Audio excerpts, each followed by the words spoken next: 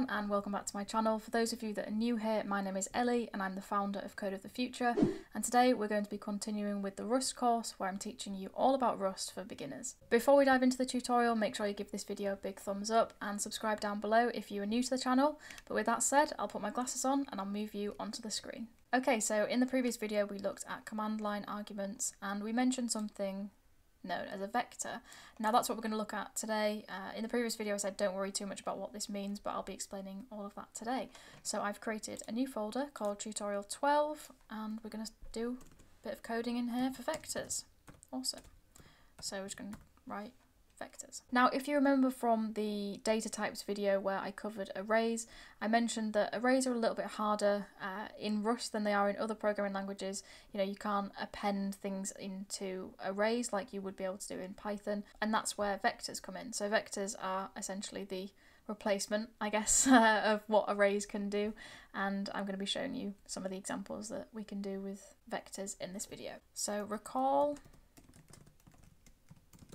you cannot add to arrays like you can in other programming languages. This makes arrays hard to deal with. Instead, we deal with vectors. That's what we're going to be doing today. So I guess a couple of comments here. Vectors are re essentially resizable arrays, so you can change the size of them. Um, Something else I want to mention is vectors can only store values of the same type. So you know, like I say in, in this entire course, data types in Rust, very important. And again, it crops up again here. If you have vectors, everything in that vector has to be the same data type. That's just how it works. So I'm going to get rid of print hello world and we're going to let a mutable vector, and that just means we can alter it, if you remember from our previous video. Right, so I'm going to write all this out and then I'm going to explain what each of the things mean, if I can write correctly. Okay, so first we assign a mutable variable vector.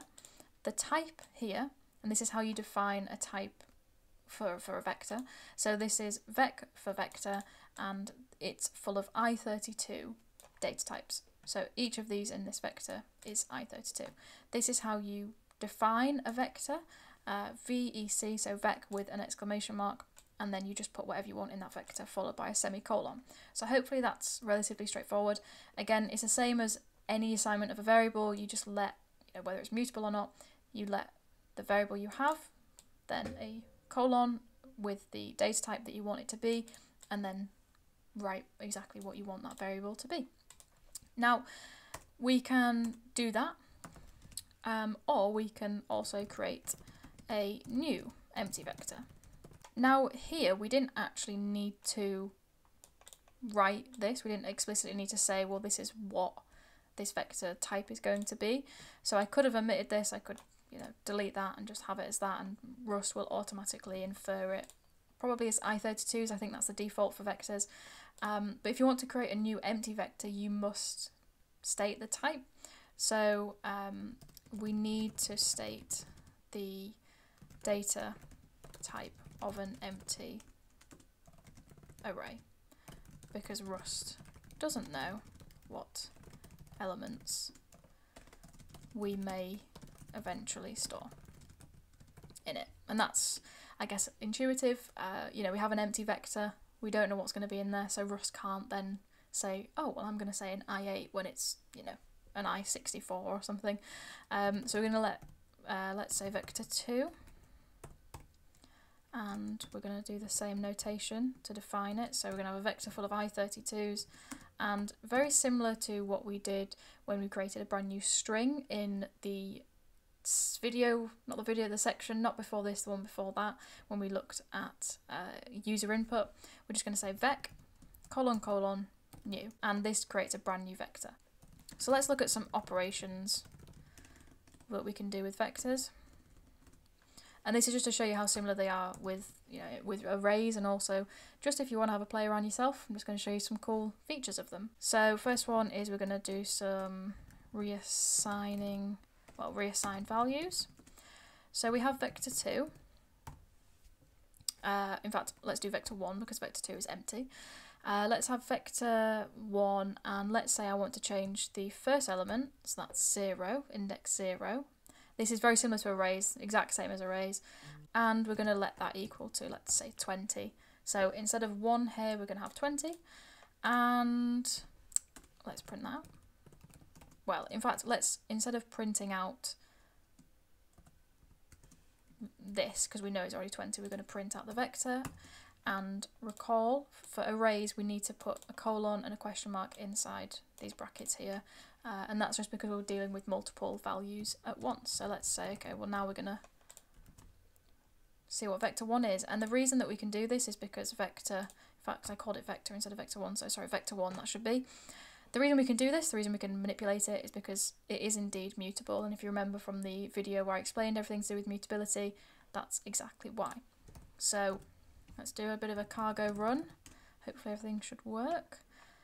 Yep, there we go. It's replace vector 1 with 20. Okay. Now we'll move on and look at finding a specific element within the vector. So it's very similar to, to this process here, except we just cut a few different things out. So we're going to go straight into printing what it is that we want.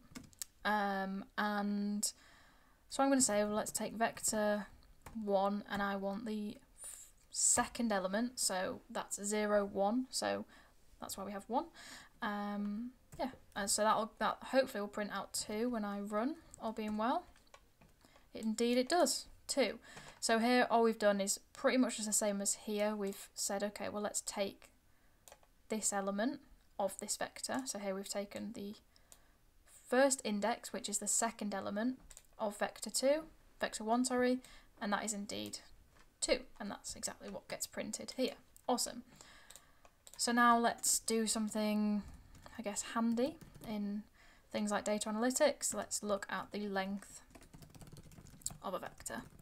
Again, this is pretty simple. I'm just going to copy this print line. We're going to do a, bit, a lot of print line today, just to show you some cool operations. Uh, and all you're going to do is take the vector that you want, so vector 1, and you're going to say dot L-E-N, L-E-N, yeah that's right, and open brackets. Again, we'll save and we'll cargo run. Hopefully it'll come out with four because we'll have four elements. There we go, four, it does indeed. Again, you know, we're dealing with some very simple vectors here, but when you have data, it's going to be a lot, lot more complicated. Um, yeah. Uh, now what I'm going to show you is how you can add add to a vector. So what I'm going to say is I'm going to take vector 1 and I'm now going to push 5 and I'm going to print vector 1 and we'll just see what happens and then I'll explain what's going on. Cargo run. Okay, so what this has done, push adds the value that you input into here, so 5. So if I said 10 and I rerun, 10 should be at the end. There we go, 10's at the end. Okay, so that's how we add, let's say, a specific value to a vector. So I'll just put this adds 10 on the end. And then we've, yeah. Um, now you can also remove the last entry from a vector. And the way that we do that is we'll just do vector1 dot pop. I always find that quite satisfying, I must admit. pop. Just popping it off the end. Okay. There we go. And we'll just print out the vector. And what's going to happen is it will remove that 10 that I originally put on the end. Cool, there we go. Now something else that's really handy with vectors is we can do looping. So we can say this loops through all the values in your array. So what we're going to do is incorporate a for statement. So we're going to say for element in vector dot iter open bracket oh, and then we're going to print line and we're just going to print that element. Yeah, we'll just leave it like that. So all this all this is doing is it's saying for every element in vector and dot iter will iterate over vector. So you kind of need this iteration here because what that does is it'll iterate between every value in your vector. So it's saying for every element in the vector once it's iterated, we're going to print that element. Okay, and let's do a cargo run. Ah, we have an error. What's the issue here? Oh, I've accidentally put a C in the pop value there. I don't, don't know how I managed to do that. Uh, let's have a look. Vector. It's because I haven't put vector 1. Again, just love errors me. Um, yeah, there we go. So it iterates over every single value. So that's how you use a for loop to get every value in your vector. I realised, I think earlier I said array instead of vector, so I'm very sorry. This whole video here is on vectors, uh, and I just get into the habit of talking about arrays because I'm so used to dealing with Python, so I'm very sorry about that if I happen to slip up and say array instead of vector. Now I'm going to show you looping and mutating, so I'm just going to copy some code into here and we're going to explain what's going on. So we are taking a for loop again, we're saying for y, so this is going to be every element. It's kind of exactly what we've done here, except I have to use y instead of element. So for y in vector1 dot iter underscore mut.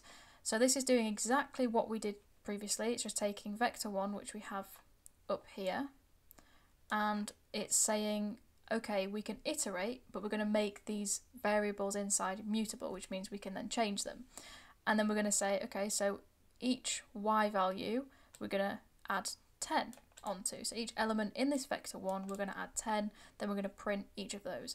Now, this star, or this, you know, asterisk, this is what is known as the dereference operator, and that's just something that you need uh, when doing this iter.mut uh, in vectors. Okay, so let's do a clear and a cargo run. There we go. So we have 30, 12, 13, 14, because what's happened is it's taken every element in our vector and it's added 10 onto it. Cool, so there you go, that is looping and mutating. Uh, and that is everything that I wanted to talk to you about vectors. I've covered the basics in terms of how you assign vectors and data types, and then also just some cool operations that you can do with vectors. But that has been Vectors in Rust. So that was the video today. I hope you enjoyed it. If you did, then please give this video a big thumbs up. Subscribe down below if you aren't already subscribed to the channel. Comment if you fancy commenting. I also have a donation page and a Patreon set up for exclusive behind the scenes footage uh, if you fancy checking that out. Um, but yeah, as I said, thank you so much for watching. I'll see you all in the next one.